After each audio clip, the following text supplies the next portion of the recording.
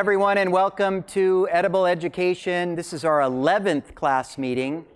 If you're just coming in, I'd love it if you'd sit in the front here just to fill in the seats. It just makes it a little bit easier on our guests to relate to you in this very big auditorium. I'll just remind you this is a technology free zone. So if you're here in person, please give us your full attention. If you're at home watching on your computer, you're allowed to use your technology. Does anybody know what this is this week? From my garden? What species this is? I hear artichoke. Wrong. Anybody? That is a leek about to burst into flower. That's from the allium family, the onion family. That, to me, that's a picture that's all about potential. So the theme of tonight's session is potential. We actually um, ended up kind of serendipitously lucky. I had originally invited two other guests. One, unfortunately, had to go to a family funeral, and the other had to fly to Italy. So we actually get my very, don't tell them this, special guest, Kristin Richmond, who's a, uh, a graduate of Berkeley, and will tell you the story, her amazing story of uh, from idea to impact tonight. And we're going to um, focus on systems innovation tonight. We're going to try to pull together everything we've been learning, all these disparate um, issues in the food system, and we've been looking at all the challenges and opportunities. Tonight, we're going to pull it all together for you into a really coherent business model and venture. Given that this is now in the business school, we're going to come full force into how all of these dynamics that we've been studying turn into a real value proposition in the marketplace and in society. Um, before that, a couple of announcements. So I have posted the readings for next week and the following week on bCourses. Okay, there's just several light readings. Next week we have Corby Kummer coming, who is a celebrated journalist, probably one of the most famous food journalists um, around. Very thoughtful man, flying all the way here from Boston to talk to us about his work in food security. We're also going to have a special guest, Mark Ryle, who uh, is the CEO of Project Open Hand, which is one of the really interesting long term uh, nonprofit uh, providers of meals here in the Bay Area. And then following that, Michael Pollan has um, agreed to join us for the final class. And he's going to be joined by another Berkeley alum named Liz Carlisle, who's written a wonderful book called Lentil Underground. So I've given you a, one of Michael's most recent writings uh, that appeared in Civil Eats about where do we go from here in the food movement. And then I've given you the prologue of Lentil Underground.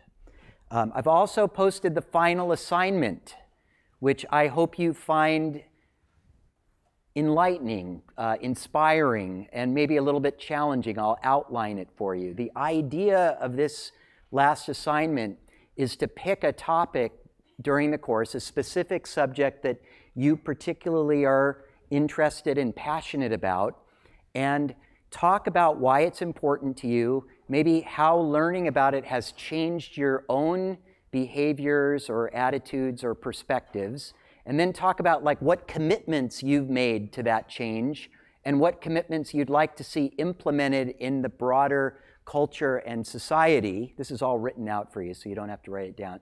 Then the second part of this is really the fun, challenging part, is that you find somebody in your circle of relationships, like your a friend or a relative, who doesn't necessarily share your views. So somebody that you can be sort of agreeably disagreeable with, you know, and your, your job is to share with them what you've learned about food and hopefully come to some uh, shared understanding or at least to come to learn what their perspective is. And you're going to capture this conversation and write about what you've learned. So you can read the assignment, you can read the rubric. Um, we've given you till April 20th, which is the following Friday after the last class. So you have, you know, several weeks to get this done. And if you have any questions, contact the um, teaching team right away, okay? So I'm really looking forward to that. Um, this should be a really nice follow on to the last paper you wrote. Let's see. Oh, I'd like Rohini to just spend a few minutes. Rohini, as you know, is the GSI for this course, and she's also a public policy student. And every week she enlightens me about bills that were passed or laws that are made or um, just really consequential things that are happening in the United States despite um, this class. So what I wanted to do is ask her to spend maybe you know three, four minutes just reporting on what happened last week. And I'll, I'll give you this beautiful picture behind you. Hey everyone, I hope you had a good spring break. Um, while we were away, two really big things happened in the world of food and ag. Uh, the first one is kind of pictured up here. In Kansas, uh, the governor called what was so called the Tyson Bill. Um, and basically, it loosens a lot of rules that govern uh, how chickens are raised and slaughter, giving a, more power to the corporations. Um, and the second issue is that um, really relates to the class that we last had uh, that Mary Nessel talked about. Um, Nestle, Michigan gave Nestle the right to water extraction rights. Um, and the reason why these two issues are really big was that they received enormous amounts of public comments against uh, both of these issues from happening, but they still passed. Um, so, for example, in the Michigan issue, they got around 86,000 public comments against giving Nestle the water rights and only five comments for it, uh, but the bill still came into action. So, it's just two big things to pay attention to uh, that happened while we were off enjoying the beginning of spring. Thank you. Thanks for that update. Um, two more things. Uh, uh, Haas just announced a sustainable food initiative, which is very exciting. I'm really uh, happy and proud to be associated with it. Tomorrow night, uh, in this very room at 6 p.m., we're going to have a Berkeley Entrepreneurs Forum, which is a special evening dedicated to entrepreneurship. It's open to the community. You're welcome to come. You can sign up um, I think the CRB or the um, entrepreneurship website has an Eventbrite. Um, it's co-hosted by Food at Haas, which is a very dynamic club here if you're not already involved with it.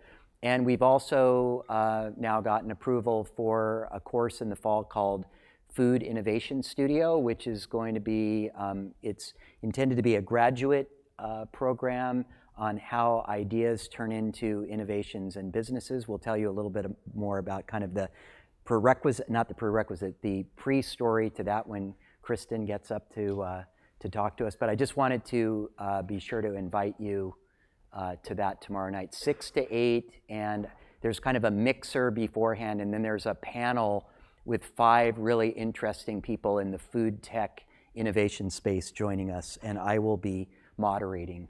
So, you know, this class, one of the uh, key themes in the class has been about learning to see systems and learning how and where to intervene in a system. And we have, um, you know, kind of been using this backdrop of Donella Meadows dancing with systems as just kind of a theme song throughout the semester. And so I thought it would be really interesting tonight to talk about how um, one actually designs an entrepreneurial intervention, if you will, mixing the language of public policy and business a little bit to create a new um, kind of solution for a pressing problem. So um, I thought I would try to explain what I mean by food systems innovation. And this, to me, is kind of a coordinated uh, approach to solving a problem a lot of times people in business, they try to build a better mousetrap. So they're trying to build a better product or a better service. People use the word platform very frequently now. But what I'm thinking about in food as systems innovation is something that not only provides a new product with distinct competitive advantage, um, like maybe better taste, better price, better convenience, um, better outcomes, whatever the, um, the key selling points or points of differentiation are, but also kind of a coordinated way to innovate across the culture and the society and the supply chain. So, what's interesting with systems innovation is you could think about not only um, thinking about how to change tastes through, say, product and, um, and education. You could also try to shift the cultural norms by working in the community. You could work on shifting habits by providing models and incentives. You could shift laws, policies, regulations. You might do um, clinical studies to produce evidence that shows that your solution actually generates better health outcomes. Um, you could do all kinds of things that would contribute um, to the effectiveness and the attractiveness of your solution. And what you're going to hear about tonight is the way a remarkable company does that. And we're going to be focusing tonight a case study on Revolution Foods and how it's approached systems innovation. Revolution Foods, as you're about to learn, is actually a company that began here at Berkeley it actually began um, in a social entrepreneurship class that I had the pleasure of being in about 12 years ago.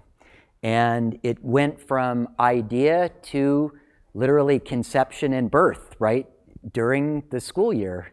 And its uh, co founder and CEO is with us tonight. She's going to talk to you about how she has systematically and proactively designed the business to incorporate the values that we've been talking about this year better health, better personal health, better planetary sustainability, fair, you know, better justice, how these values are actually designed into the business and operationalized for competitive advantage. So that's what we're going to focus on tonight. So I'm going to show you a quick video. Before they, I do that, I'm just going to mention that Chris Richmond got her MBA here in 2006. Her co-founder, Kirsten Tobey, is also a, an alumna of Haas. And both of them have been incredibly generous at coming back here um, to teach and share and mentor and coach. And you know, to me, when I think about my life's work, what Chris and um, Kier have done over these last 10, 12, 14 years has just been absolutely remarkable and something of which um, we should all be proud. So let me start by showing you just a one minute video. The context for this video is that um, this video was made by Citibank at, with, at no cost to the company because Citibank was very interested in highlighting community centric businesses that they were partnering with.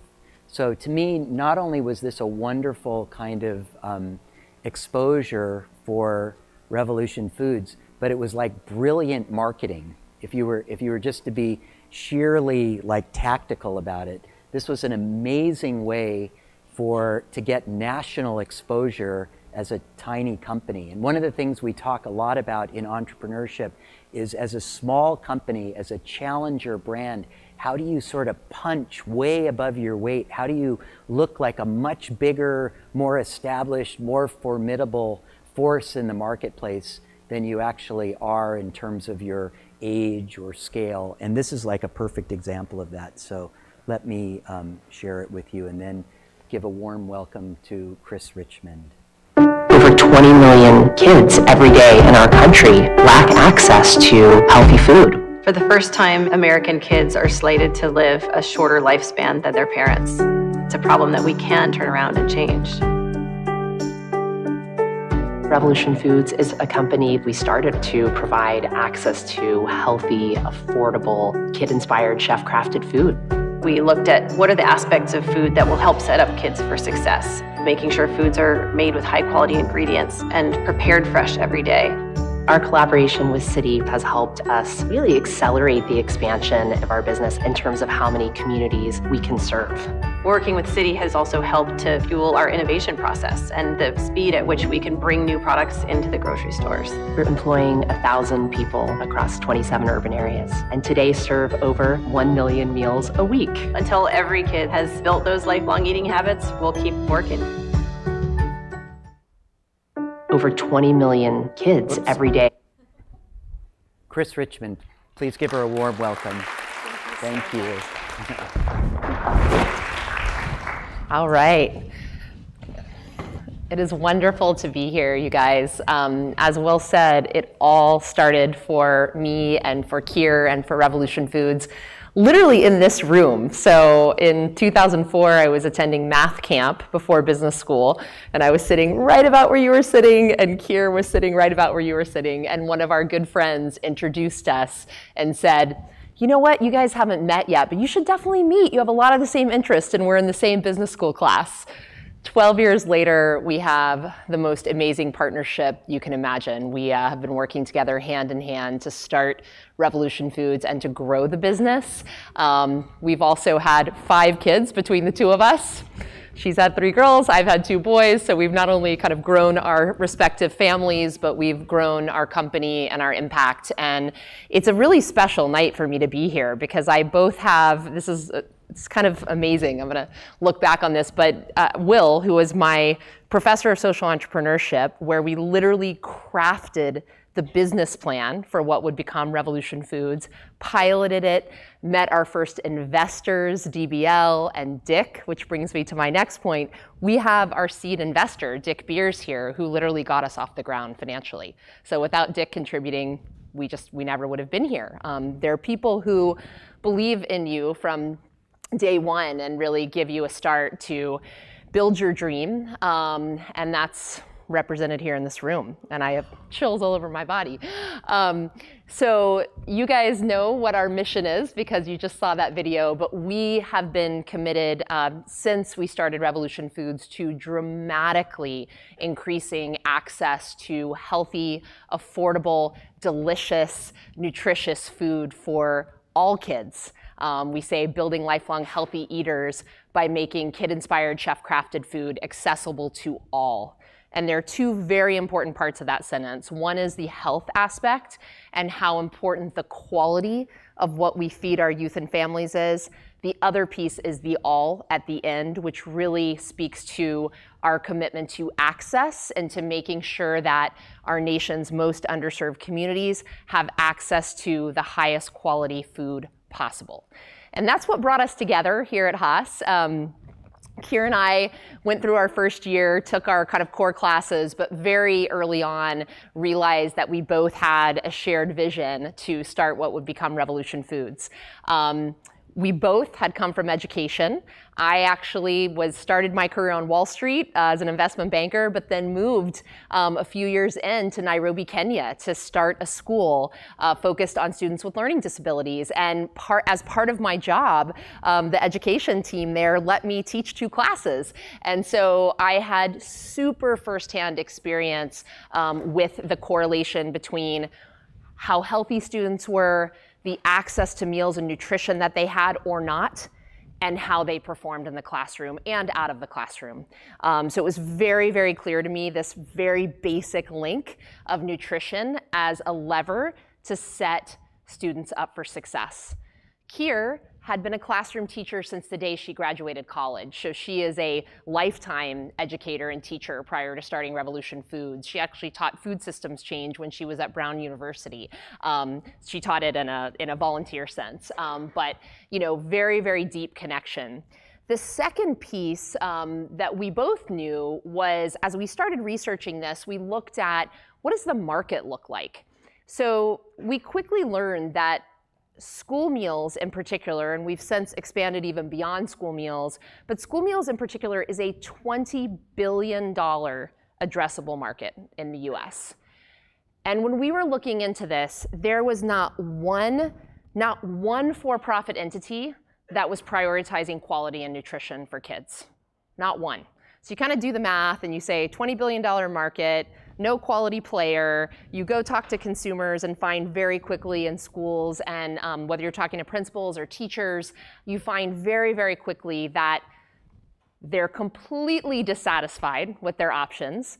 Then you go into the lunchroom and ask students, you know, is the food that you're being served do you like it? Does it respect you? Um, and the answer across the board was absolutely not. It's disgusting. We know it's not healthy, but not only is it not healthy, it doesn't taste good, it doesn't look good. You know, my chicken bites are still frozen inside. My breakfast pizza is dripping oil on my shirt. Um, I can go on and on. But basically, we knew right away that there was a huge unmet demand.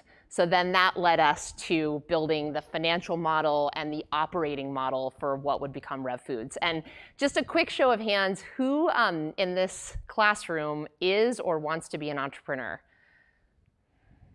quite a few, quite a few hands. So I always say um, when I'm talking about the founding story, always run a pilot if you can, um, because as much as you feel like it may not be representative of your aspirations and where you want to go with the business model, the learnings, even at a tiny scale of prototyping something and seeing how, in our case, kids related to food, seeing how teachers accepted us, seeing how the lunchroom line would work and how students flowed through it, and then finally bringing investors to that little pilot in Oakland and saying, this is the impact we can have. Imagine this times, you know, a million, uh, was a huge part of us getting funded. So I, I am very um, adamant about um, telling folks, please run pilots when you have an idea. Mock it up, prototype it, get it going, because you can learn more doing that, as much or more doing that as you do in the visioning stage.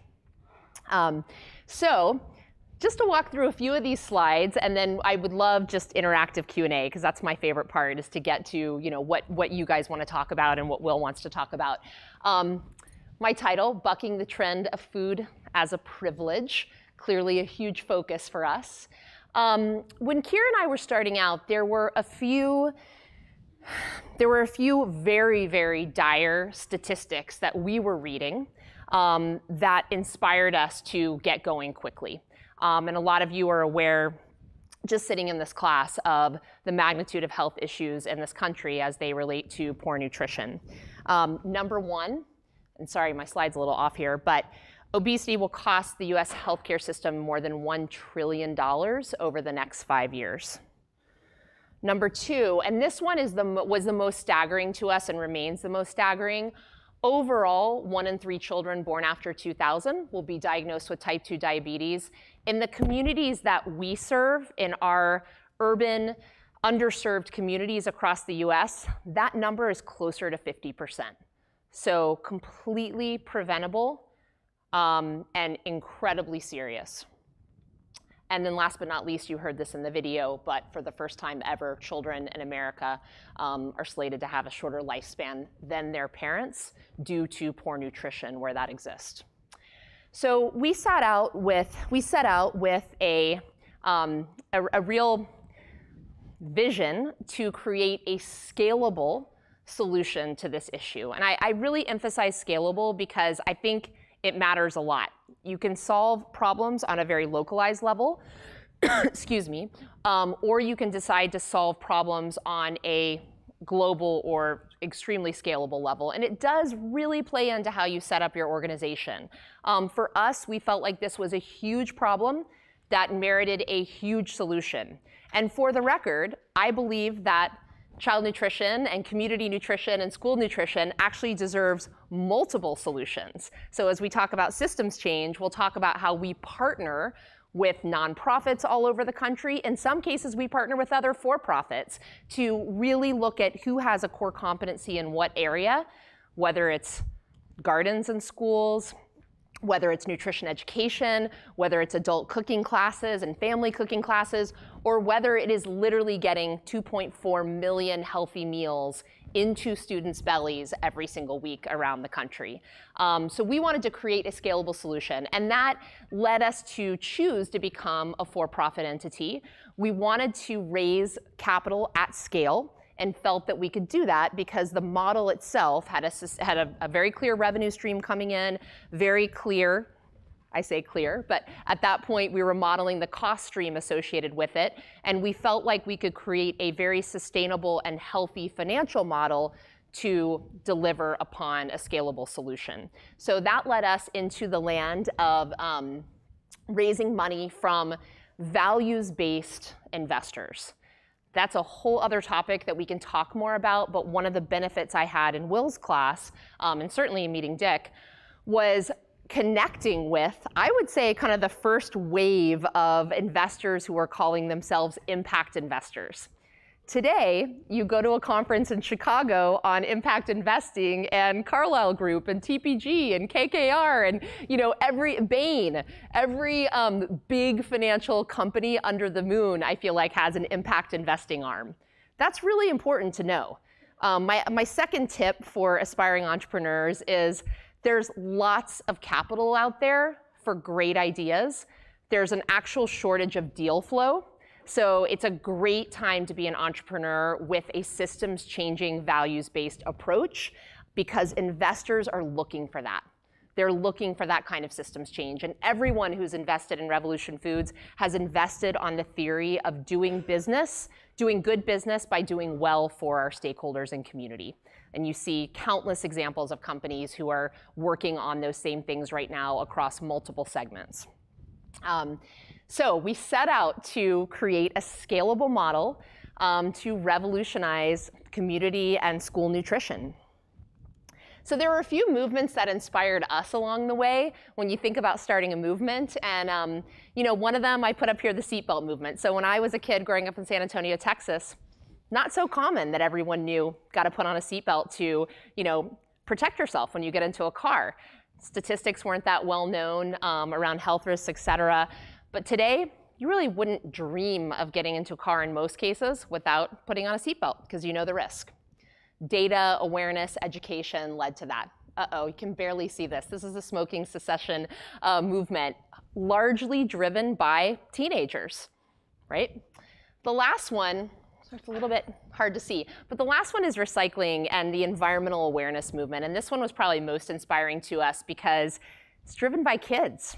Um, and I don't know how many of you guys went to the, the March for Our Lives protest recently, but I took my little boys, um, who are 8 and 11 now, not only because I believe in the issue, but also because I wanted to drive home the idea that youth voice really, really matters. And perhaps it is the most important thing in driving movements across our society. So you see the recycling movement. This is, you know, classic example of, you know, the little kid coming home and saying, Mom, Dad, Grandma, Grandpa, don't throw that away. That hurts the earth. We have to recycle and later we have to compost. So, you know, movements that are driven by youth and by community really inspired us. So where are we today? Um, so we are, and I'll talk about the systems change element in a moment, um, but we are now serving 2.4 million healthy meals per week across 30 cities across 2,000 schools and community sites all across the country, and that ranges from K-12 schools, district schools, charter schools, um, after-school programs. I was actually on the head of, on the phone with the head of the YMCA nationally today. Boys and girls clubs, Head Start programs, community feeding programs. So we're really entering into the zone now of what I call citywide wellness where there is a community program to be served, whether it's on a basketball court at a park, whether it's in a church, whether it's a community center, whether it's an elementary school at San Francisco Unified. That's where you find Revolution Foods creating access to healthy breakfast, lunch, and suppers every day of the week pretty much every day of the year now. Um, so really exciting again when you kind of think about the impact. When we started, we were serving school lunches that impact, and to Will's earlier statement, that platform access is so much larger than it was. Um, so just as an example, in our first year, we served 70,000 healthy meals in one city. This year, we will serve 150 million meals in 30 cities. Um, we're about a $160 million company overall. That's our revenue line.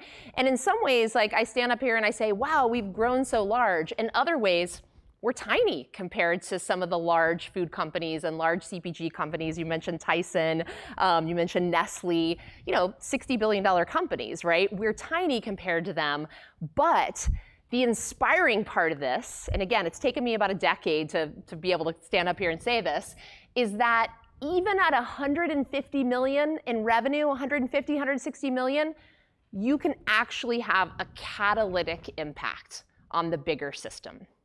That's exciting. It's really exciting. And I'll talk more about that. The other thing that is not showing up here is we're a B Corp. Um, so B, do you guys know B Corp? Does anybody know B Corp here? few of you. Okay. Um, so B Corp is a movement that started right alongside uh, Revolution Foods and right alongside the impact investing movement.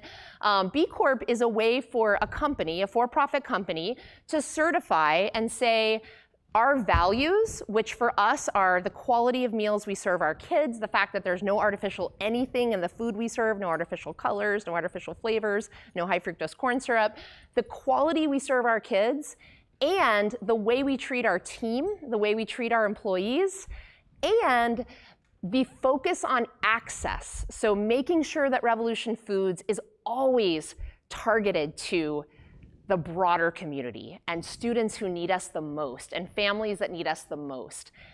That's really baked into not only the mission that I've talked about, that would be, you know, if you were in my office in Oakland, you'd see it across the walls, but actually our investors have approved and have signed on to that being part of our governance. So it's really, really important. Years ago, this didn't exist. Um, our governance says that when we make a decision, we both consider the financial impact and the impact to community stakeholders. Again, our team, our kids, our families. Um, I'm going to make an argument, though, that there's not really a trade off between financial value and social and mission values. Um, probably one of the things that kept me up most at night when I was just starting was this question, and I got asked on every panel, oh my gosh, how many times are you gonna have to trade off your, your social mission values to create more financial value. And Kristin, isn't it you're raising money from these VCs? Like, aren't you going to get, you know, pushed into a wall eventually where you're going to have to lower your food quality, maximize your margin, and, you know, there goes Rev Foods authenticity out the door. What actually has happened, and again, what is so promising for all of you in this class is that my favorite saying, and it drives my team crazy, um, probably because I say it so much, is that what's turned out is our values have actually created our value financially. And I say that because it's really authentic brands that connect with consumers and offer a real, transparent, value proposition and stand and live by those values translates directly into the differentiation and financial value of the company. It also translates into the talent that you can recruit. So Will, I love you said, how do you punch above your weight as an entrepreneur? How do you, how do you have a billion dollar brand with a $150 million company? Part of that is having these values that you live by that are born in your DNA you see a lot of big food companies out there saying, we're going to back up and figure out how to be values based and figure out what our mission is and figure out how to incorporate, you know, great values into our company. It's really hard to do. Really hard to do if you don't start with that in your DNA. Um, and talent sees that. And so we have consistently been able to recruit um, leaders across the company who really could go anywhere you know, and do anything, and have decided to come and work with Revolution Foods because they believe so much in having, building a legacy for themselves in terms of impact and really contributing every day to something that's so tangible and inspiring for them. Um, they also believe in the equity value, back to those value, value creates your values, right? Or values create your value. Um, they believe in the equity value of the company that we're building through building an authentic, differentiated brand.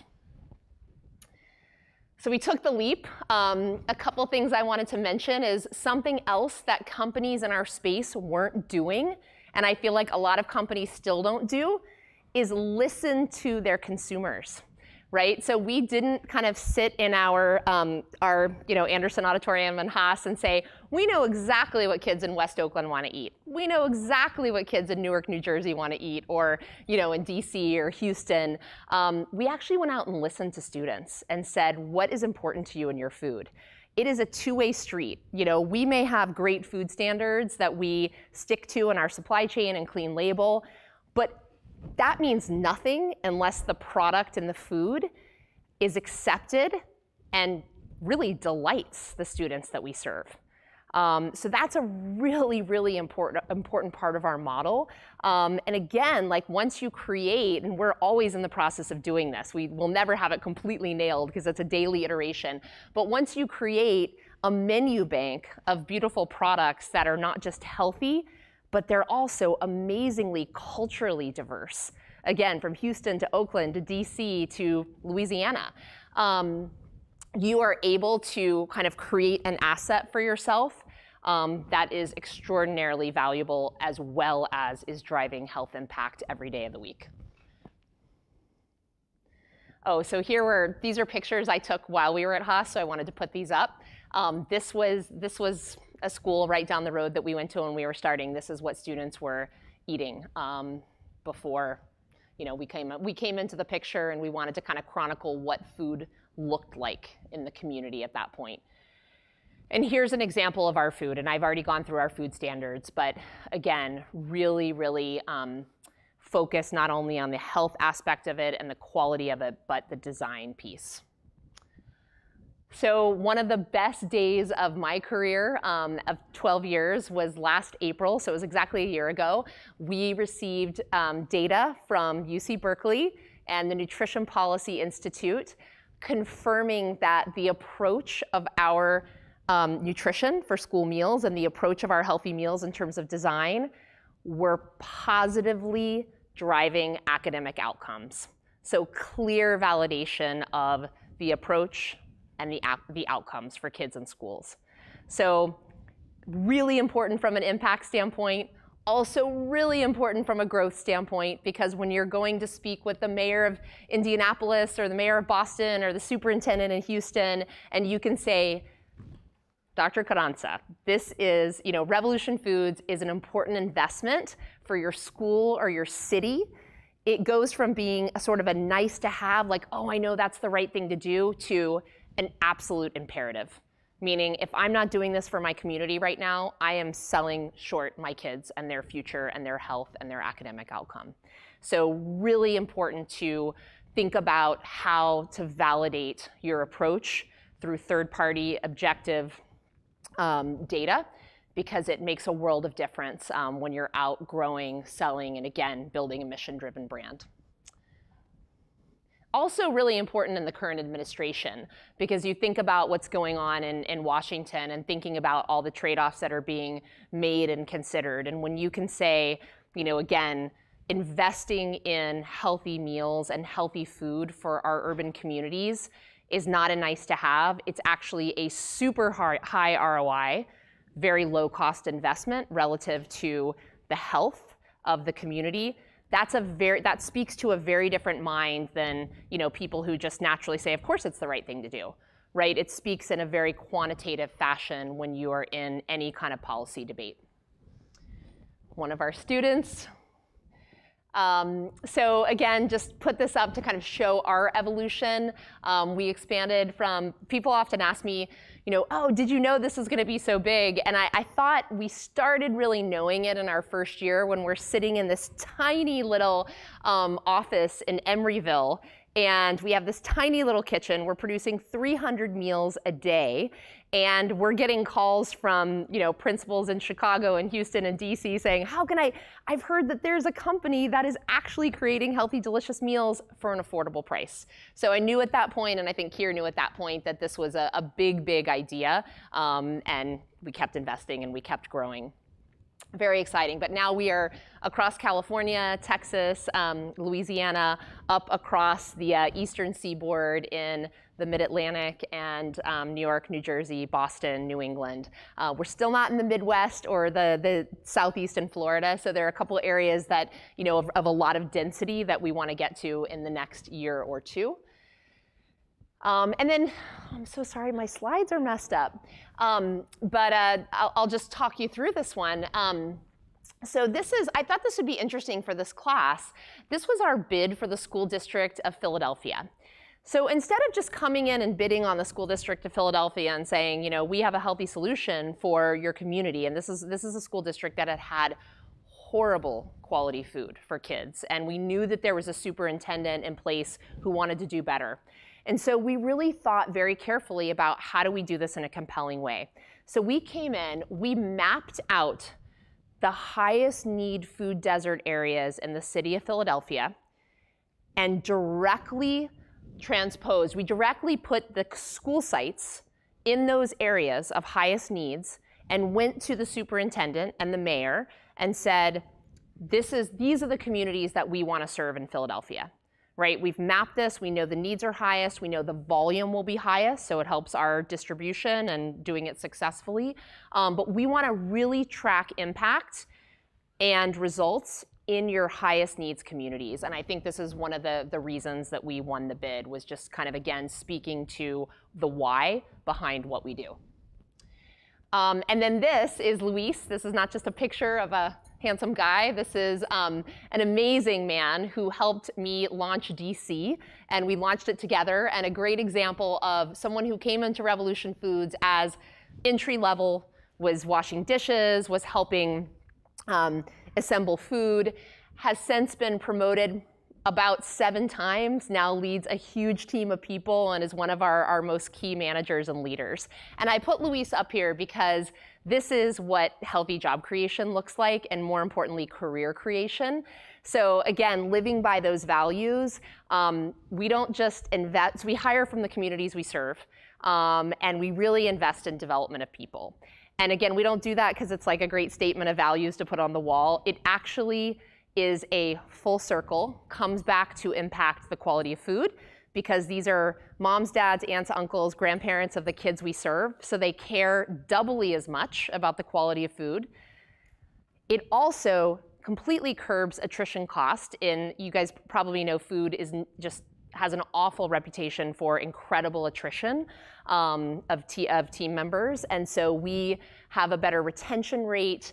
We're able to invest in training and keep those people. We're able to produce a higher quality product. We're able to work with cities who want to invest in us because we're creating jobs in zones where there was incredibly high unemployment um, minimum wage. Most people without benefits now are coming in. We work with job, um, job force employment agencies across the cities we serve to help coach people when they come in for a job to understand here are the spectrum of jobs you know here's what it looks like to do whether you're a driver or whether you're a linebacker or whether you're a production manager here's what it looks like and here's the ladder for your career creation and as a result, um, two years in a row, we were named the second fastest growing intercity job creator in the United States.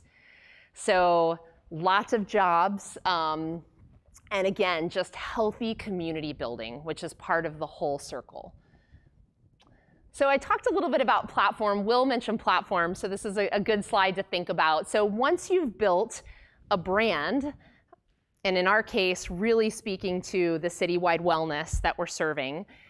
And then once you've built capabilities, so we now have this incredible um, just infrastructure nationwide of culinary centers, refrigerated distribution, clean label supply chain, largest clean label supply chain in, in certainly in schools, um, product design, incredible relationships and touch into the community then how do you think about expanding from there? And how do you think about building what, what we call adjacencies, very consulting term, but what are those adjacencies that you are uniquely positioned to create where you can serve the community in our case? So, you know, going from schools to thinking about how can we bring teachers and families healthy meals. So I don't know if you guys use the meal kit services like Blue Apron and Munchery and, and those.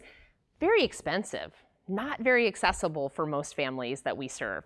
So how do you create a version of healthy meals utilizing your infrastructure, your competency, your supply chain, your product design, your authentic brand to be able to deliver high, high quality nutrition in an affordable format to the families and the communities you serve. So that's what we're working on right now, and it's incredibly exciting. It's an approach that no one has taken yet. Um, and again, we're in this great place where we don't have to invest millions more dollars to do it. We can basically do what we're calling micro test across the community to figure out where is the unlock where we will drive trial, so people buying the product, and repeat, so people coming back for the product in a way that, again, impacts community health positively, solves problems for families out there that everyday families face, um, and also creates financial value for the company. Okay, so this was my systems change slide. Um, so I'm gonna I'm gonna I'm gonna talk a little bit about systems change, um, and then we can kick off with Q and A and a discussion. But again, like a decade later, standing here looking back and thinking about how does a company that's relatively tiny compared to big food across the US, create systems change. And there's a few ways in the case of Revolution Foods that we that I think we're starting to move the needle in a meaningful way. So we've talked about healthy meals and healthy food driving academic outcomes in our schools. That's number 1. We've talked about the infrastructure that we've built to provide a fresh food manufacturing environment across the US in a way that previously, you know, not much access to healthy food, a lot of access to cheap, processed, packaged, low nutrient food. Um, so creating hubs of fresh food manufacturing with clean label supply chain with the associated distribution to be able to drive citywide wellness in a way that wasn't there. Supply chain. When we started, we had no we couldn't even find a cereal. This is a true statement. We couldn't even find a cereal that would work for our schools. When I say that would work, no artificial colors and flavors, real food, a reasonable sugar level, not off the charts, delicious, and affordable enough to serve in our schools.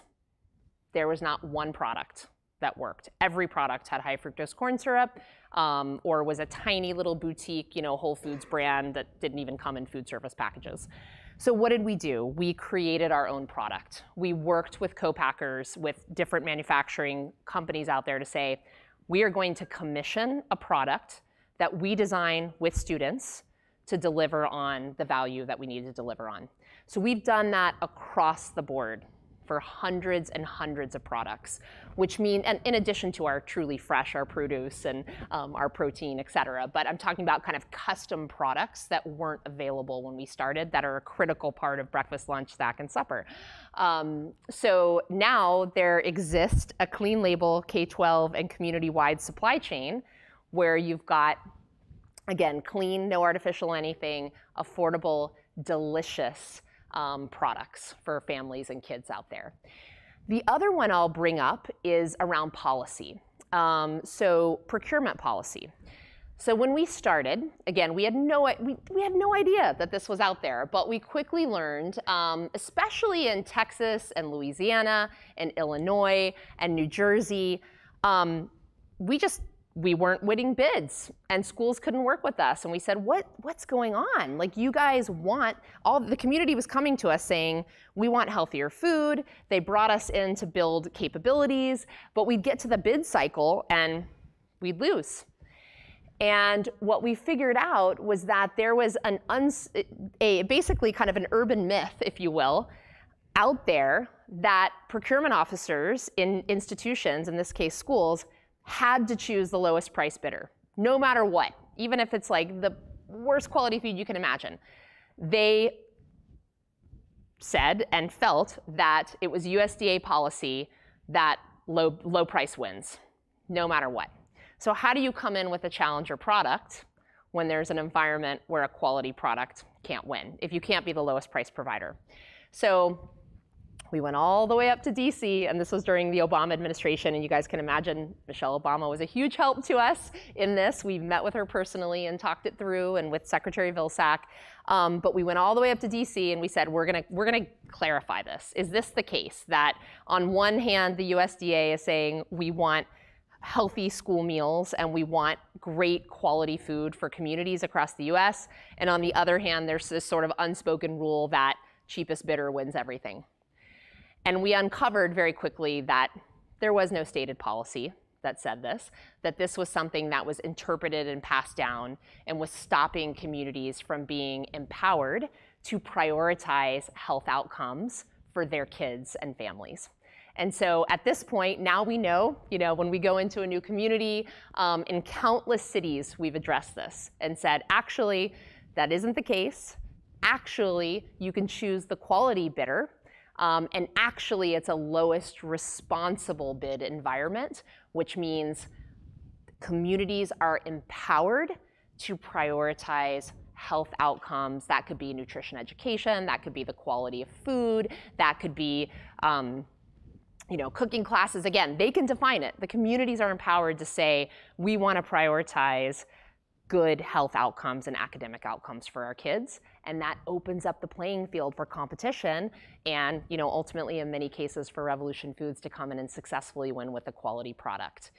Affordability is still very very important. I don't want to make it sound like it's not um, but there was room to innovate and improve and serve the community better within the means of budget. Um, so those are some of the key systems changing elements that, uh, that I wanted to speak to, and we can keep, we can keep digging in. Um, but those are a few that are sort of beyond what you might think, you know, oh, straightforward business model, catalytic, catalytic impact of systems change associated with it. Yeah, thank you. Thanks. All right. Sure. We'll put that up as a, as a commercial. Great. Um, thank you. That was really inspiring. Um, what did you think? Did, who, if you've got questions or, or comments, please come over to the mics and line up because I'd really like to make this as interactive as possible. I mean, while you're doing that, I'll just I'll kick off. You know, you make it sound so easy. You're you're you're always so ebullient and positive and but having, like with Dick being through 12 years of board meetings, we know that it's not as easy as it looks. And one of the things you didn't go into detail on, and given that this is in the business school, could you just explain a little bit about the cost structure, the national reimbursement rate for meals, the margin pressures? I mean, because this issue with access um, and quality and affordability is a really high hurdle given the constraints. I mean, this is not like gourmet ghetto pricing. Yeah. So maybe explain just a little bit about that, then we'll get to the, yeah. the questions. And by the way, Will, thanks for the, the reality check. I happen to like love my job, so I'm extraordinarily positive. Um, however, I could sit here and talk for even longer about the failures we've had and sort of what we've learned and how we've rebounded from it, and um, many, many, many failures. And even you know thinking about fundraising, um, finding the right investors, but you also get turned down a million times in the process by the wrong folks. So whole other whole other discussion. But in terms of the cost pressure, um, intense cost pressure, and I think for us we again, we, we sort of had to get to a certain scale point to be able to do what we do for big institutions. So um, we knew right away, uh, and it sometimes just happens this way that your entry point, your early adopter customers, um, are typically ones that can afford to enter early, can make quick decisions, are more innovation, more innovative in nature. For us, that was like a lot of the charter schools um, that really allowed us to get our feet wet and you know charge a little more uh, than we'd be able to do in a big public district. We simply wouldn't be able to do it in a big public district. So for years, we built on a platform of those early adopters, having a ton of impact, um, but not getting the shot to serve San Francisco Unified or Boston Public Schools or you know YMCA National because we simply didn't have the economies of scale in our supply chain um, for our product costs to come down. We simply didn't have the operating blueprint. So if I think about what we know today about um, waste management and efficient operations and efficient distribution routing and you know line balancing, ergonomics, I could go. This is where we get into like Lean Six Sigma type work. Um, we didn't know that to start. And so it really took growing to a certain scale, bringing on a world class operating team, um, maturing, and driving economies through our supply chain to be able to win the big contracts. Um, and that's okay. That's that's the way it works. And we learned a lot in the process. But we're still under intense cost pressure. Um, this what is, is that a, number? Two dollars and how many? Um, Forty-two so cents. The current school meal reimbursement rate is is it's now over three dollars. Oh, it is. Okay. um, it's like three dollars and thirteen cents. So it's a little higher. Um, but if you think about it, that three dollars and thirteen cents has to include not only the meal that a school gets, but any any associated labor or overhead. So that's not we're not able to charge three dollars and thirteen cents. That's the maximum amount that a school has to spend on every lunch served. So we charge a portion of that. Um, so if I think about you know serving that chicken teriyaki dish that you guys saw with um, you know a fresh peach and a RBST-free milk, you're doing that in the dollar and 25 cent cost zone, it gets really daunting. And that's why you've got to then think about, from my end, um, hiring incredible supply chain and operators to help you cost engineer the model. And just to you know, add a little bit to that, it's, it's been amazing to watch people from very um, sophisticated jobs in very big companies be willing to take meaningful pay cuts to, you know, at a certain stage of their own career to come work for a company that has this mission and values. And so again, that's another form of kind of competitive advantage. The culture, the leadership becomes a competitive advantage. And one of the things that's always struck me um, being at around the board table is that every Revolution Foods board meeting for 12 years has begun. It begins with a commitment to how the company is delivering impact, first and foremost. And that's always been a grounding um, you know, kind of drumbeat for the business. No matter what investors are at the board table, you know, whether they're big shot you know, venture capitalists that are world famous or you know, whether the Secretary of Education is on the board or whatever, it's always however the company's just grown from being at the very beginning, which I should also just mention and put a point on, is that it's a women-led business. And I have to say, and Dick can back me up on this, but in their early years, it was all women on the management team. You guys really suffered from a lack of diversity there. But in my opinion, it was the best run. I sat on a lot of boards for many years, and it was the best run company I've ever uh, seen. And there was just really something you know, that incredible about that. So I think you've just kind of demonstrated um, you know, so many proof points that are now so salient you know, in the conversation that we're having in the culture. So let's have some questions from the class. Yep, it's on. Go ahead. I guess it's not on. Hold on one second. Can you turn it on? Are you on? OK. Try it now. Uh, my name is Ale. My company is uh, Fluent Endurance. Uh, we make sustainable snacks. We try to combat the food waste. The figures that you mentioned for 2006 is my stage right now. Okay. You mentioned your speech to impact investors. Mm-hmm. Those are from big equity firms. Can you elaborate about what do they expect? Can you compare them with the early stage venture investors? Uh, what's more appealing for them? How to speak, how to approach them? Oh, yeah, that's a great question. Repeat it and just in case it didn't go. So how do you approach impact investors? How do you tell your story? How do you get them interested and committed? Mm-hmm. Um, so I do think there's some of the firms I mentioned were just are much bigger. Um, but I think when we were first raising funds, um, it was really critical that we had a very tight financial model built that very clearly um, laid out our assumptions and the operating performance that we expected to have.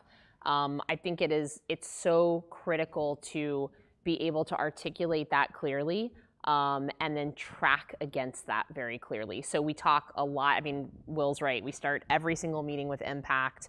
Um, and we go deep into financials and performance. And I think when you're first starting out, it's a lot about um, well, it's always for investors about market size and opportunity and quality of team. I feel like those are the two things that just are universal in what they're looking for.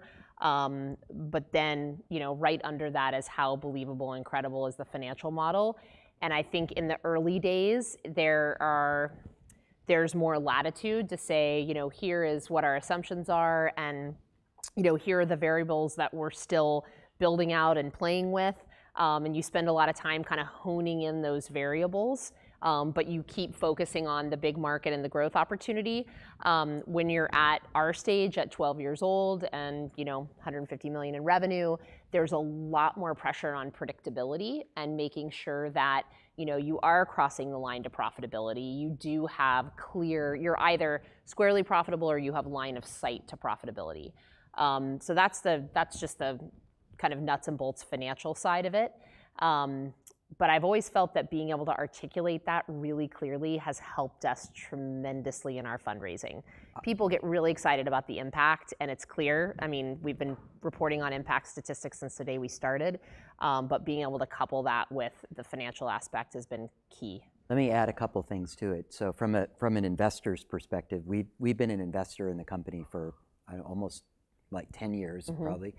And um, so what we look for is a is a team that can articulate a vision and then execution. So you're always looking for that creative tension between being able to really think big and then execute. So vision and execution are really critical.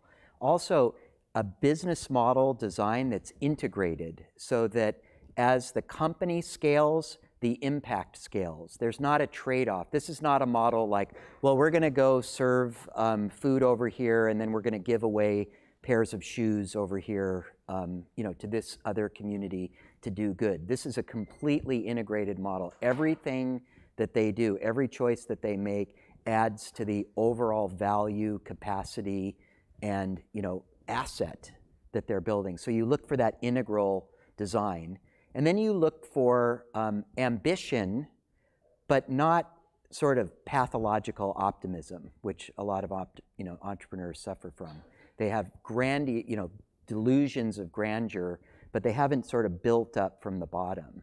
And I think what's been just so amazing about Revolution Foods is they really take it seriously. And again, Dick could back me up on this, but I don't think I've ever seen a company that comes so close to its um, projections. And there's been years where the board says, you need to actually um, stretch more because you're getting too close. And then they're like, why? You don't understand how much we already stretched to get that. But um, there's something about that. And it's also, you have to think about trust with your stakeholders, your investors, your partners, your suppliers. You, you make commitments, and then you deliver on those. So you have to continually build that trust. And then that just leads to um, getting access to the assets. Like that Citibank ad is a result of that kind of performance year after year, that a brand of that stature and magnitude would take a chance on putting a little company like this on TV and celebrating them as the benchmark. The the other, the last thing I'll say is about team, because Will brought this up. I think you know, in the beginning, you've got a vision. You've got a lot of, you know this, like as you're doing it, a lot of people are wearing a lot of hats. You're doing kind of generalist role. As you get a little bigger, like one of the first thing investors look at is like, do you have the right experts for the right expertise areas? So it's like, do you have the world-class operator? Do you have the world-class CEO or CFO? Do you have the world-class um, you know, product excellence head?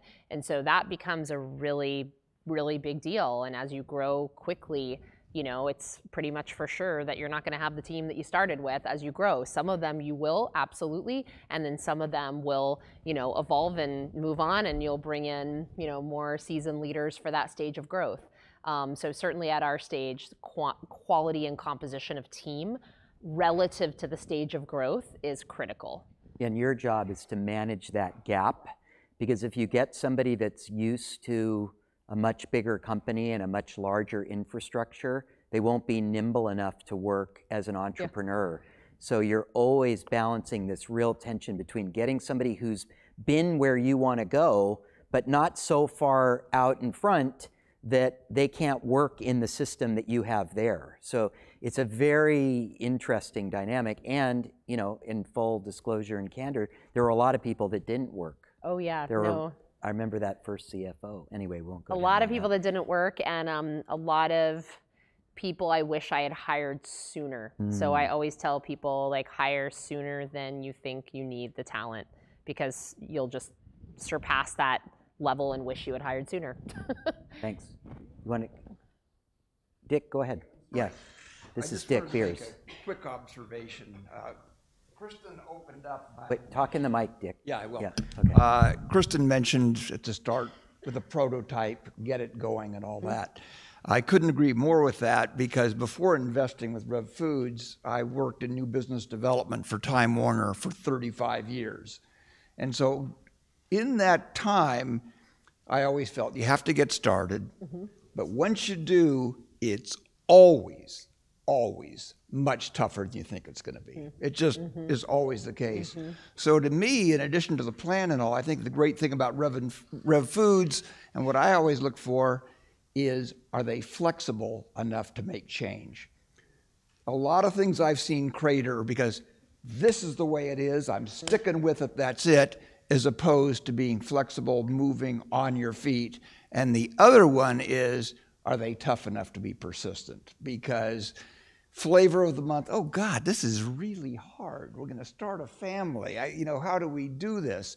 And we could just go on and on with the anecdotes when there were problems in Washington, D.C. Kristin and her family moved the next day to Washington, D.C. for how long, and they made it happen. And then the last point I want to make is on Will's point of what an exceptional leadership team they have. I've been stunned. You know, this is, I think this is probably a lot to do with women leadership. No narcissism. And it's stunning after a corporate life in New York to see this great spirit. So when oh, thanks, thanks Dick. Dick. I'm on a mountain school. Hi there. Hi. I've never been too tall for a microphone before. Um, so this might be a little bit of comparing apples and oranges, um, but in going back to in investor-based questions, um, investors are not donors, yeah. but um, my background is in the arts nonprofit, music, and performance sphere. Um, and hearing you talk about ecosystem funding and sort of the messaging that appeals to those kind of investors. Uh, in the arts nonprofit and music nonprofit world, the foundations have shifted to ecosystem thinking. Um, a lot of the organizations want to be shifting to ecosystem thinking and reframing the arts nonprofit sector and thinking about how it engages with other worlds. Individual donors um, are much more tied to the tangible, familiar, um, project-based funding. Right. And so I'm wondering, as much as we can compare apples and oranges, if yep. you've had that experience, and it sounds like there's been evolution in the food industry and in how, in, in social impact fundraising and in um, entrepreneurship too, if there's anything that you've learned about relating to that kind of donor or investor and how you can shift them more to an ecosystem, or is it about finding the right people who are already aligned but don't already see themselves as a part of that sector? That's yeah. a big broad question, but I just was curious your experience in that. Yeah, so there, that's a great question and, and huge transformation um, since I started. So just thinking about something Dick and I worked on in the early years, we were trying to get funded by Gates Foundation. We were trying, trying, trying. We were trying to connect to everyone we could. And at that point, they were really just doing grant funding. Um, and so we were looking for equity, for-profit equity investment, but with a clear social impact um, mission. And at that point, they just, it wasn't happening. They had a PRI, project-related investment arm, but that didn't really make sense for us and what we were doing. The landscape has completely shifted. So now you have foundations who are making, so we have, we have two of them I can think of. Um, Emerson Collective is one, uh, the Walton family is another. Uh, we actually have three or four of them um, who are making equity investments in Rev Foods. So again, they're looking for a return, but they're very values focused. At the same time, they're saying to us, what other grants can we make that would catalyze food transformation in urban communities? So we're like, okay, we believe that there are 50 schools in Oakland that could serve healthier food to their kids if they had refrigerators and those refrigerators cost $2,000 each. And why don't you think about making a grant to the schools, not to Rev Foods, schools own the equipment, to basically buy the infrastructure to allow them to drive health outcomes. And we've had multiple funding relationships like that now that have combined grant funding and equity funding. Same thing on the um, creating jobs in inner city communities. So when we went into New Orleans, um, Kellogg, Foundation, Kellogg Foundation invested in Rev. They invested equity, they gave us debt, and they put several hundred thousand dollars to work in grants for New Orleans schools who were looking to transform the food they were able to feed their kids. And it wasn't paying us on a meal by meal basis. No foundational fund that because that's that's silly, right? It's like the operating cost. But it was infrastructural things that would allow them to be more successful. And the last thing I'll say is not funding, but it's winning partnerships for biz dev. The other thing I'll say is our big contracts that we've won with big districts, Boston being the most recent one, I believe we won because we came in with ecosystem partnerships. So it wasn't just Rev Foods, it was Rev Foods plus Food Corp plus Share Our Strength plus Commonwealth um, plus um, you know the local dairy company in Boston that was delivering for us and creating more jobs for people in um, you know the area that they're located in. So total ecosystem bidding, and we've differentiated ourselves over and over. So you're you are right on with that thinking. What a great example. You've got a question too? Thank you.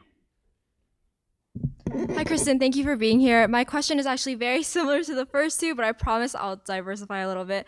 Um, so you mentioned this several times in your piece, but the whole idea that impact investing, like double bottom line, long termism, like didn't really explode until very recently. Yep. So I'd love, to, and I'm not sure when your first funding round was, whether that came like a little before or after, but I'd love to hear how your relationship with investors, with VCs, VCs relationships with their LPs has like kind of evolved with like the growing of this movement, how that's like shifted your relationships with. Can we tell my favorite story?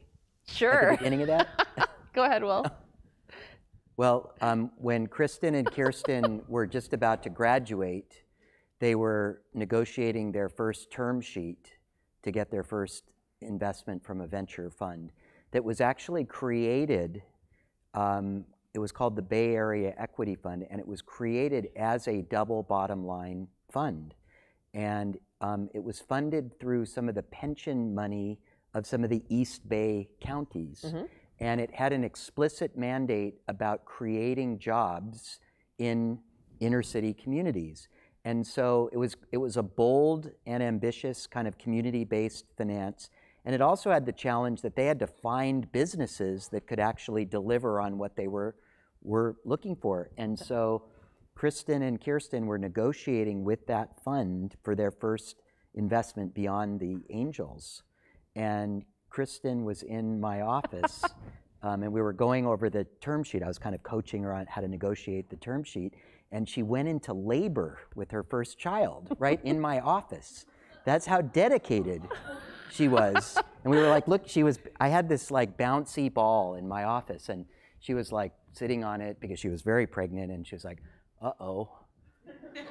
and uh, we said, well, we better call Kristin's husband. Steve, yep. We're uh, like, um, but just to show you like how dedicated she was. So that's why I always say like I'm the midwife of the company. yeah. But from there, yep. they closed that financing. You yeah. can take the rest of the story. No, that's true. And I always say to Will, like, what? How many venture capitalists have birthing balls in their office? I don't think many. so, it was uh, only when you're married to an OBGYN. Right, only when you're married to an OBGYN, Will.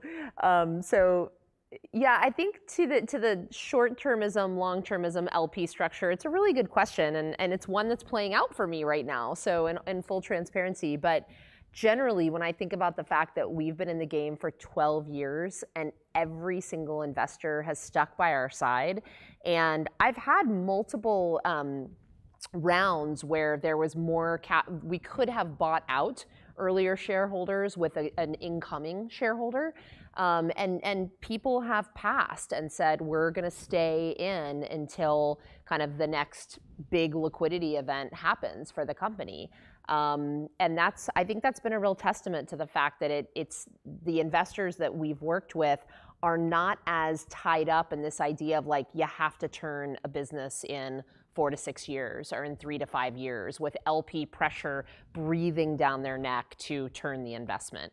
Um, but that is a very important part of fundraising, it, which is definitely ask that question. I mean, I am so I am so direct with potential investors around what is your hold period, you know, what is your experience? Because what you really want to know is how many other folks have they invested in and held the investment and supported the company and supported the team um, to the time that was right for the company to exit.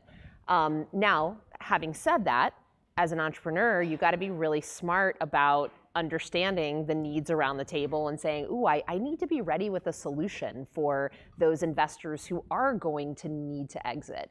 Um, so that's something I'm thinking about right now and, you know, really strategizing around is what is the right kind of liquidity vehicle for whoever of our amazing investors who have stuck by our side through and through to exit, um, and some won't. But I think it's an important question. 10 years ago, um, there was a lot of concern that there was always going to be a trade-off, like Kristin mentioned, between you know, doing things that are going to generate financial return versus social impact. And there's something called the ERISA laws, which govern the fiduciary responsibility of the people who manage these big pension funds. And two of the largest pension funds in the, in the country are CalPERS and CalSTRS, which are California teachers and California um, employee funds. And I remember um, speaking with the people at CalSTRS who were investors in our fund about Revolution Foods. And this sort of illustrates kind of what the schizophrenia of capitalism was like, because they, they said, you know, here, here we are, they're representing all of the teachers' pensions, yeah. right? And they're like, we absolutely love this company, but don't talk to us at all about impact because it's gonna, it's gonna push us over this funny edge around our fiduciary responsibility. Those rules have been written, rewritten since then, and now there's you know more comfort to the point that, as Kristin mentioned earlier, all of these big money managers, BlackRock, Bain, mm-hmm. TPG, now they've all got billion dollar funds focused on these issues. Whether they'll actually be able to meet the expectations that investors have. I mean, this is, this is going to take a long time to prove out. So just to add to what you said, I'd, I'd say if you're going to be an invest, if you're going to be an entrepreneur in this integrated, mission-driven space, you've got to be committed for the long term. This is you, and you have to. One thing that Chris didn't say was you have to become really good at managing people's expectations. Mm-hmm. You have to actually sort of retrain the culture but also at the same time, you have to prove the case over and over and over again. Yep. Really interesting that you mentioned CalSTRS because they just wrote that letter to Apple. I just thought that was really interesting. But thank you. Yeah, thank question. you. That's a great question. Come on up. These are great questions. Thanks. If you you're up there, okay, we'll go to you next. Perfect. Hi. Um. So I have a question um, that's kind of at the other end of the spectrum. So you're talking a lot about you know funding and raising um, money, but I guess going back like 10 years ago 12 years ago before you started all this how did you how do you make the jump you know how do you say that i have this idea and i want to put my life into it um, and then you know how do you fund that and then make those decisions to say i'm in a place where i can jump into this head first and dedicate my life to it wow.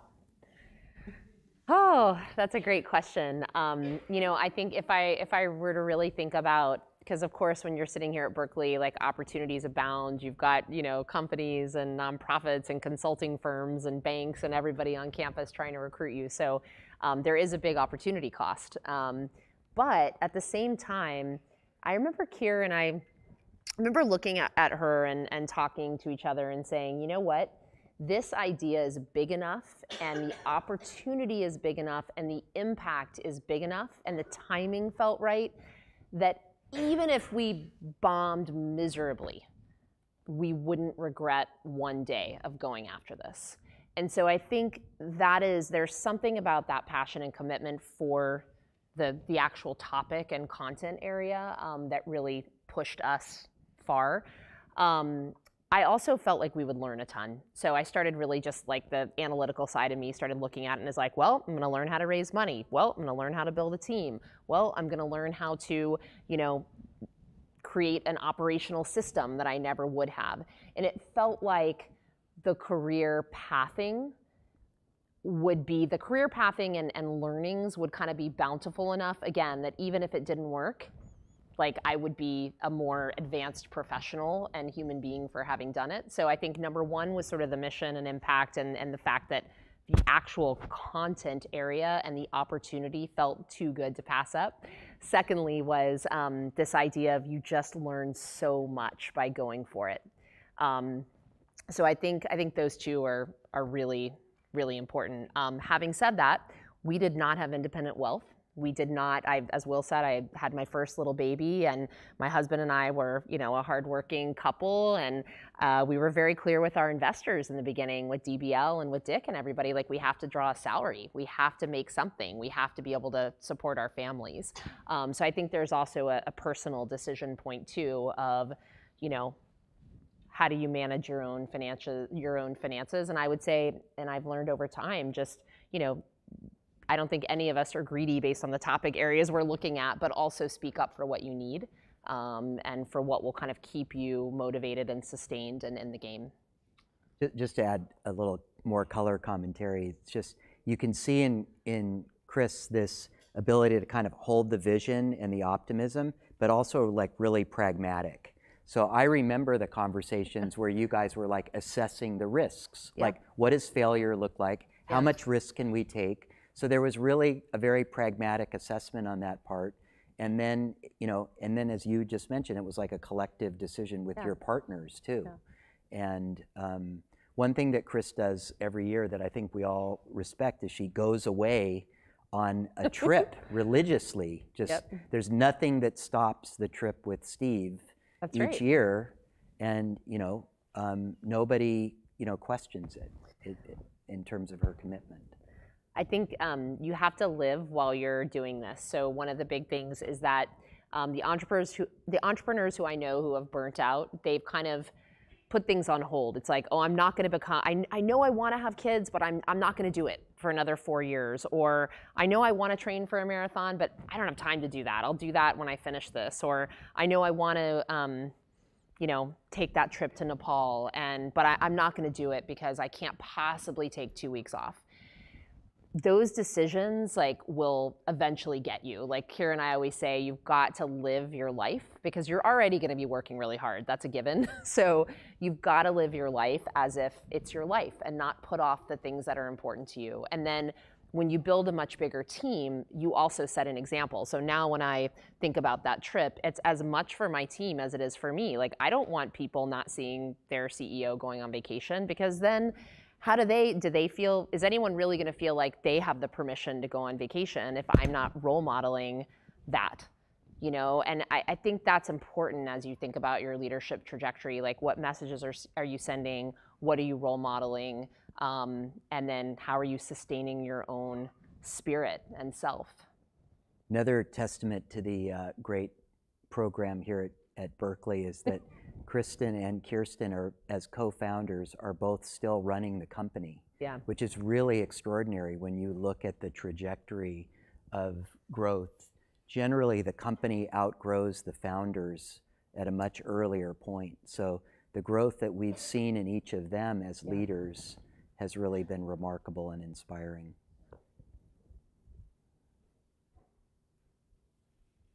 This on? Okay. Um, hi, thank you so much for coming. Your company this sounds like so amazing and revolutionary. Um, thank you. I just had a more um, specific question about like the sources of the food. Um, so obviously you have a very small margin of uh, economic. Yep. The, you know you have to do one do- one dollars uh, meals. Um, and uh, we studied a lot about like sustainable ag- agriculture and sustainable local farms. Um, do you feel like you're able to source from more sustainable farms and more local farms, or because of the scale issue, you need to um, uh, get it from larger scale uh, agricultural companies? Yeah, we, we actually do both.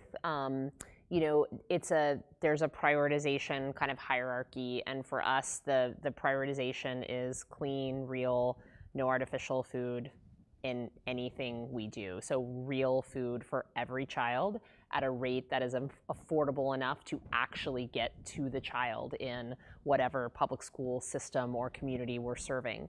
So that means with those really strict standards that we then have to look at sourcing and how much can we do um, within our sourcing parameters to meet those goals. And it, it changes over time. So when we first started, you know, we were clean label. We've always been clean label only. Um, but we were not able to incorporate a lot of organics. Like we had specific partners um, who we worked with, like Greg Massa and Massa Rice, you know, out here, I'm thinking has been a wonderful partner um, who really grew with us. Um, Gary Hirshberg, met him through Will, Stonyfield Farms, organic yogurts. You know, we never could have afforded that at an early stage, but he saw the brand value and you know, he literally said, where else are 70,000 public school students across the US um, going to be able to eat Stonyfield every day? So you'll find partners like that who work with you at an early stage um, and make the price point affordable so that you can even go beyond to the next level of standard. Now that we're getting bigger, we actually have, again, enough uh, purchasing power to actually help farmers and to say, you know, we're just going to place a, a forward contract on something and say, you know, if you can produce, you know, 100,000 apples in this price range, in this time range, we will buy them. Um, so we're able to be a little bit more creative now than we were to incorporate more local, um, more organic, more seasonal uh, than we might have been able to do in the beginning. The other thing is it also depends on area of the country. I mean, you know, California is a whole different story than Denver in the winter um, or than DC in the winter. So part of it is also um, for us, there's some geography elements to it. Uh, but we're the cool thing about getting bigger is that you actually create more flexibility to work with a broader range of partners. Thank you. Got a question over here? Yeah. We'll have a couple more. And then we'll do our attendance question. Maybe you can get that ready. Uh, thanks for sharing your time with us tonight. And I have a little question because uh, I'm a little curious about the topics of uh, trade-off because uh, uh, we know that there are many scientific researches on maybe like neuroscientists are doing the studies on maybe how the people's brain are perceiving the colors, maybe which colors will motivate the people's purchasing decision. And maybe this is not very moral uh, it uh, it's uh, maybe like male, uh, will call the um, malnutrition food. Uh, uh, people and children will eat more malnutrition food, and this is not very good for maybe it, it's the opposite or negative effect to your program. So how do you think of this thing? Maybe uh, there is a trade-off between the uh, financial outcome and the social community outcome. So I want to know your opinion. Thanks a lot.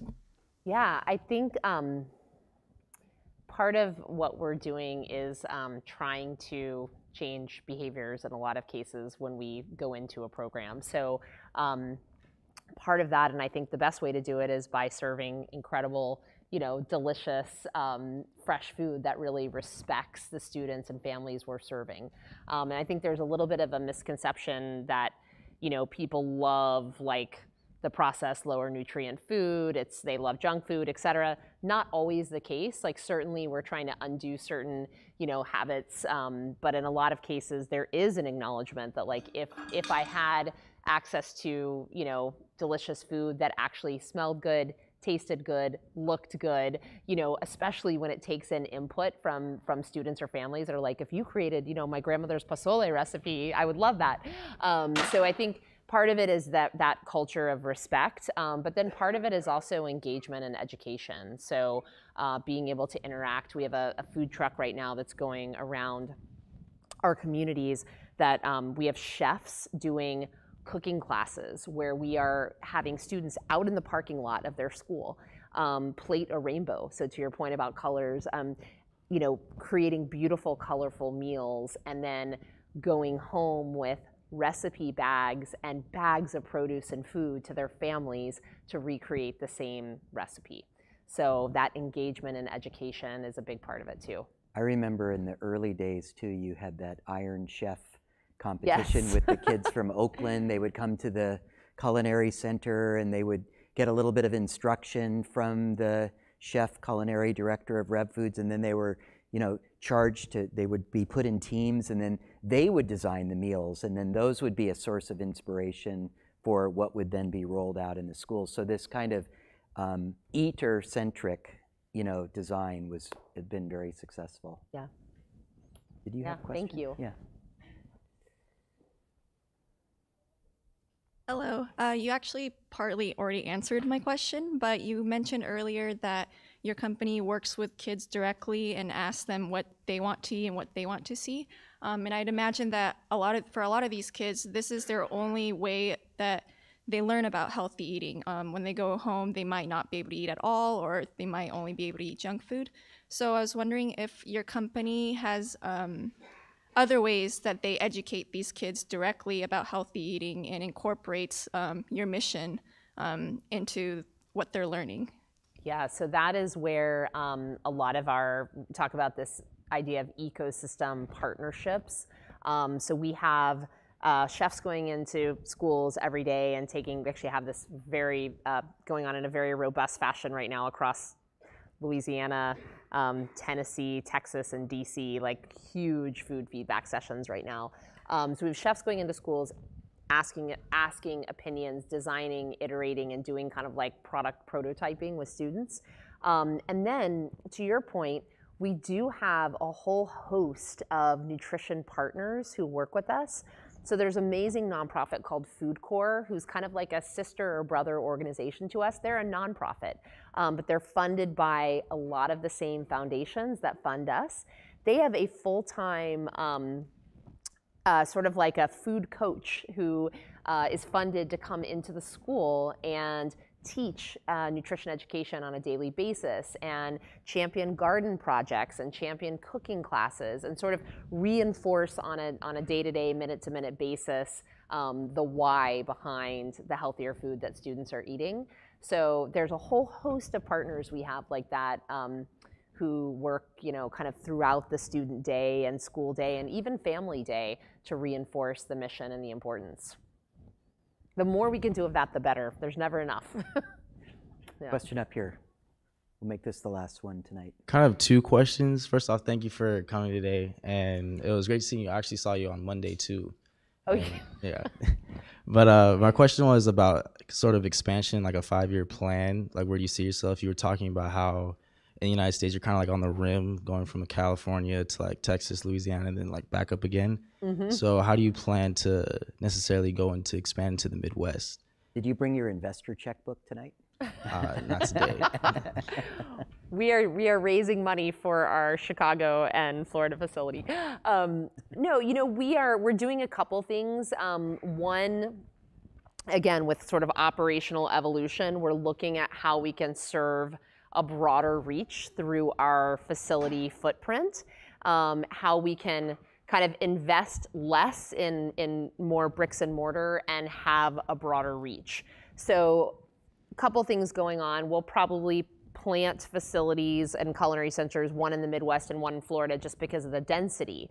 But then what happens to Kansas City and Alaska and Minnesota, et cetera? So for that, we're actually looking at designing a uh, product set that is, we call it broadline because it'll be kind of sold into Sysco and US Foods and the aggregator companies that can then, they're distributing to these institutions every day. So instead of, you know, serving lower quality product, they'll actually have Rev Foods clean label product in their trucks distributing it to a school in Kansas, for instance. Um, so we're looking at both bricks and mortar expansion or culinary center expansion, but we're also looking at elevating our product and shelf life technology so that we can serve through other distributors. That way we can have a much broader reach. Well, let's have a big hand for Chris tonight. Thank you so much for coming. So great to have you here. I, I loved how all that came together. So here's the question for tonight. Take out your iClicker. it's a it's a tough one. Let's see how you did. You don't have to change your answer tonight when you see what everybody else said. How about that? Are you ready? Ready. Okay. Pretty good. Yeah. Playing around with us. Okay, well, thank you. Can you switch me back? Awesome. Oh, and thank you. See you next oh, week. Yeah, well, thank you so much.